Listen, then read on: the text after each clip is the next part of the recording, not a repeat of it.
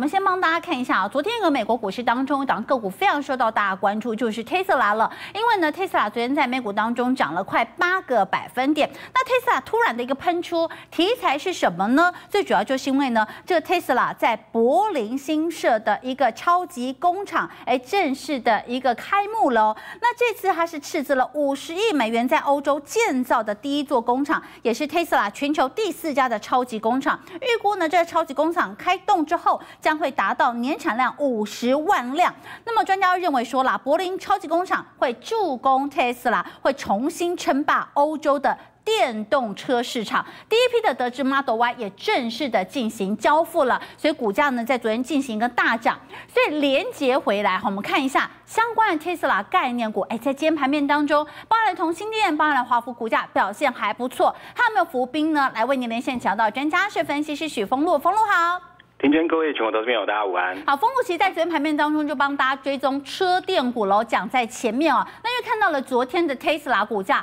大涨快八个百分点，哎，今天带大家看到像同心电、华孚这种跟车用相关题材的，再度出现了比较明显突袭的表现。如果说啦，这 Tesla 的一个股价表现持续往上来做表态的话，相关的电动车题材热度是不是不减？还有没有哪些可以注意的？嗯，好，我想我们昨天已经提前跟大家报告说，看到美股的一个上涨内容，你先去找寻相关有机会的个股，一定要提前布局卡位才会有机会哈。那你看，我们昨天已经提前跟大家讲，特斯拉昨天已经要站稳九百块，那马上又要往上挑战一千块，结果昨天大涨超过啊七个 percent，接近八个 percent 哦。所以我们昨天在啊跟庭军连线的时候特别讲到说，我们看到华孚又攻到涨停板。那华孚是什么？华孚是所谓啊特斯拉的 Model Y 的中控平台的一个供应商，那又有未来的一个车体轻量化的题材，所以它率先攻到涨停。我现在先跟大家讲，那除了车体轻量化之外，你还赶快去看什么？看充电桩嘛。所以最终再跟大家讲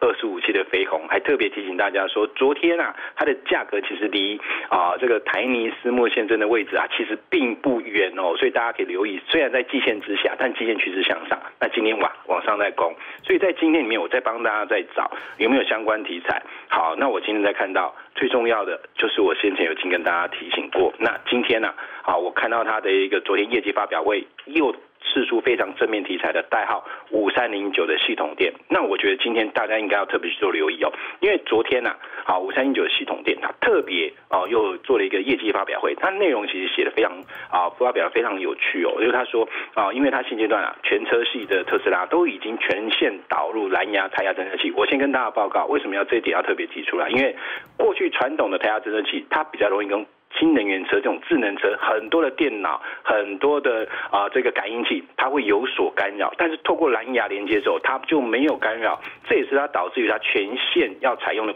的一个关键。那么从今年来看的话，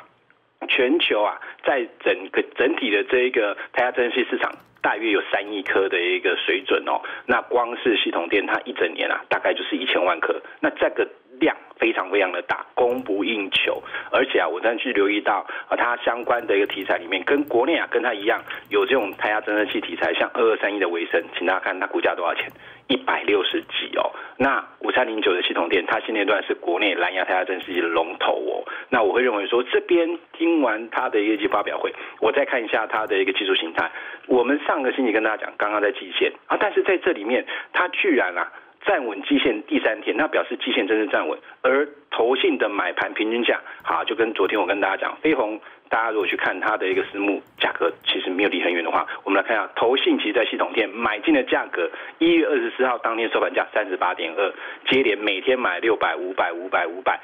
平均价大约也就在四十元上下，那这边离投信的一个买超的一个价格其实就很接近。我觉得今天这个啊大盘啊，在整体的一个走势上面，很多股票，尤其是高价股，它冲高回落，因为什么？涨太多。但如果你觉得价格便宜，那今年的一个涨势还会很好。那以它去年的一个获利大概零点六二元，今年的一个法人预估大约都有接近两块五到三块，那个这是一个值跟量的一个飞升哦。我认为投资朋友在今天整体的一个